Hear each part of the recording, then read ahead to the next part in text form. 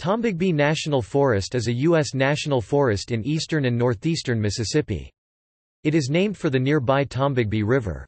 It is divided geographically into two non-contiguous sections. The larger southern section, about 60% of the total acreage, is located north of Louisville, in parts of Winston, Choctaw, and Oktibbeha counties in eastern Mississippi.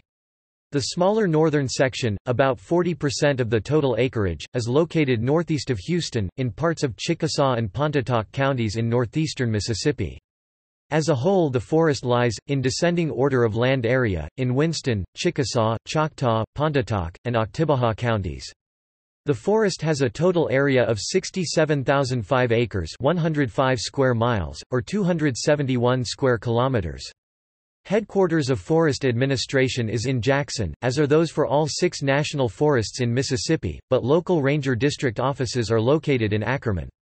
The forest contains the Owl Creek Mounds, which include five platform mounds built between 1100 and 1200 CE.